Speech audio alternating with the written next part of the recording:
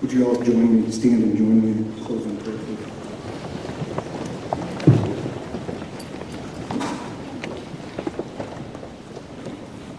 Heavenly Father, we, uh, we stand here today boldly, as it's already been said, proclaiming the name of Jesus Christ. This school's done that. He's prepared these students' minds in every way academically that they can.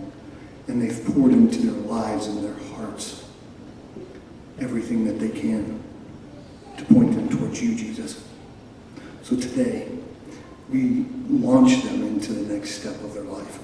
Father, we pray that they would understand exactly what it means to set their minds on things above where Christ is seated at the right hand of God.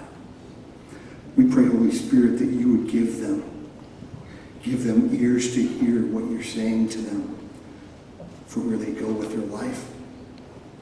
Father, for where they point the cameras of their life away from themselves to the people that they come in contact with, please, God. Give them an understanding of what it means to live an other-centered life and to point others towards you.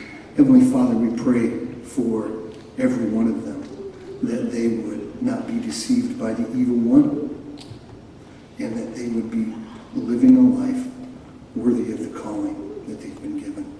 Father, we thank you for the parents that have poured into their lives.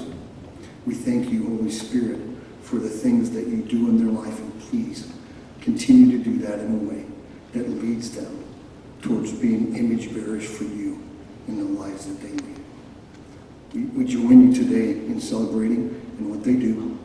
Please, God, send them to the next season of their life with the full blessing of this ministry and this school and their parents. In Jesus' name we pray.